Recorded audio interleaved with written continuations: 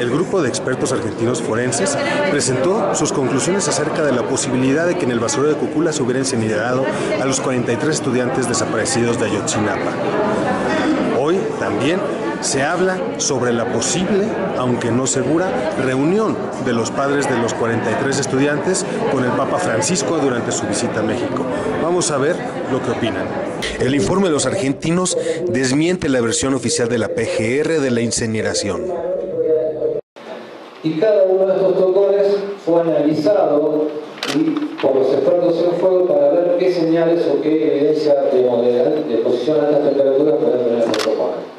También se habló de la audiencia no confirmada con el Papa Francisco en su visita a México. Pues en verdad nos ha defraudado porque nosotros hemos tenido que pagar cada misa.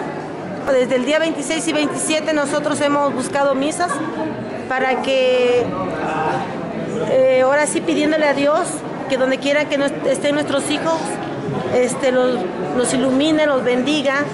Bueno, para nosotros con el hecho de que Papa venga a México y visite los lugares, los estados donde hay brotes de, de, de, manera permanente de violaciones a los derechos humanos y que de manera sistemática se están dando estos hechos en esos lugares, para nosotros eso es importante porque creemos que de esa manera va a venir a constatar que México, a pesar de que los, los gobiernos en turno en México han firmado estos convenios de que se respeta la, esa, ese derecho universal de los derechos humanos en México y la tortura. Entonces, en este caso, en México se está viviendo en momentos muy críticos.